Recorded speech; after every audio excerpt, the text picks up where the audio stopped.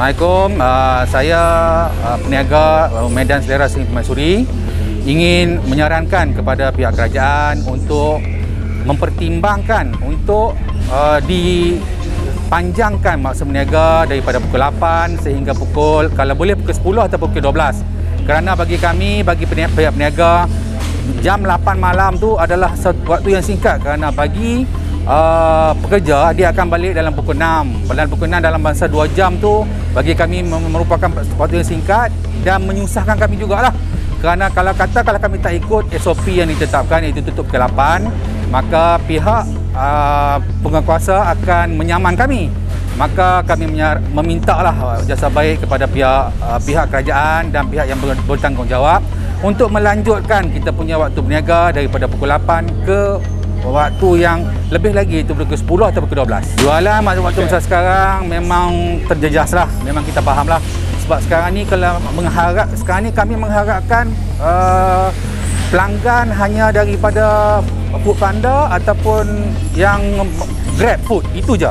Kemudian uh, pelanggan walk in memanglah kurang. Sebab sekarang ni kalau kita seperti, seperti kita tahulah uh, pelanggan sekarang ni dah takut nak keluar sebab uh, kita punya uh, COVID ni dah meningkat kan daripada dah sampai ke 4 angka kan? 4, 4 angka dan, dan dan dia punya 4000 lah lebih sekarang ni.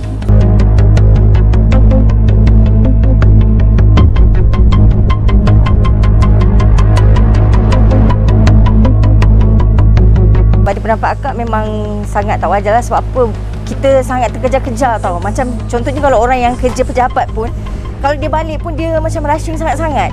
Ha, dia macam waktu berbuka puasa pula kan ha, jadinya. So kalau dapat diganjakkan lagi masa tu dipanjangkan lagi kan lebih mudah lah pada kita. Terutama orang-orang yang ada anak-anak kecil. Kadang-kadang balik kerja tak sempat tau tak sempat. Mana nak masak? Takkanlah nak masak kan dah balik kerja dah penat kan. Ha, lepas tu mesti ada yang tapau macam tu kan. Ha, tapi yang masak masak lah kan tapi bekerja-kerja lah ada orang yang dia balik kerja dia dia tak sedia macam barang basah dekat rumah kan. So dia balik kerja dia akan pergi supermarket dulu. Tapi pukul 8 dah tutup.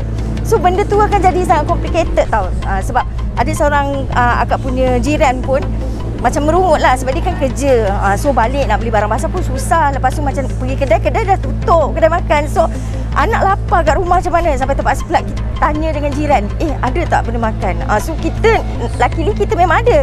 Sebab kita mungkin pada hari tu macam akak akak cuti kan ha. so akak ada benda makan jadi bolehlah bagi. Tapi kalau tak ada macam mana? Kesianlah anak-anak dia kan. Ha, macam itulah. So uh, harapan akak kalau boleh dipanjangkan lagi lah masa tempoh berniaga ha, macam tu.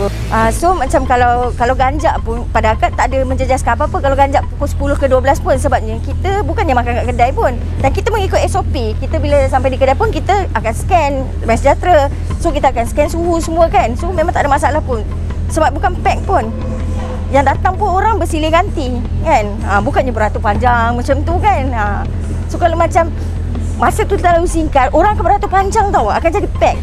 So itu pun agak rasa boleh menjadi penyumbang besar kot untuk penularan covid. Ha, tapi lebih bagus dipanjangkan masa lah. Ha, so tak terjejas apa-apa. Kita tak makan di kedai. Okay, efek utamanya adalah waktu selepas orang balik kerja je uh, akan order akan hang bertambah banyak. Terlalu melampaui batas. Sampai kan um, sepatutnya dalam pukul 7 sampai ke 8 tu memang kami akan dapat order yang terlalu banyak ah.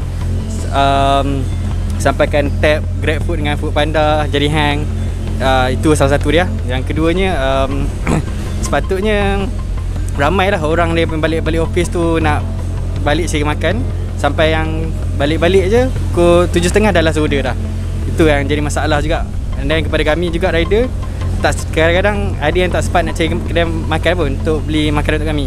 Just grab apa yang patut and then uh, hantar je kat rumah customer.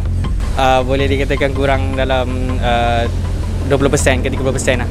Uh, sepatutnya sebab waktu malam lah orang paling banyak order sekali daripada waktu tengah hari dengan pagi. Sebab orang balik kerja tu memang orang order sampai rumah terus ambil je makanan. Itulah.